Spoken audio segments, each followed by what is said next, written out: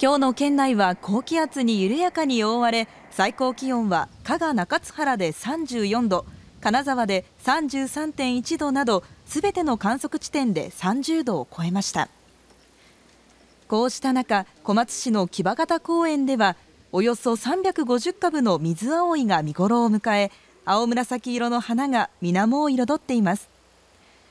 県の絶滅危惧種に指定されている水葵ですが今年は猛暑の影響で水温が上がったため例年よりやや早く花を咲かせたということです。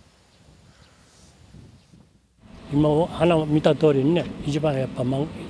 満開になって一番最高の見頃じゃないかと思いますけどね。気温も上がると葉っぱも早く枯れるしね。やっぱ早い時期に見に来てほしいね。すぐ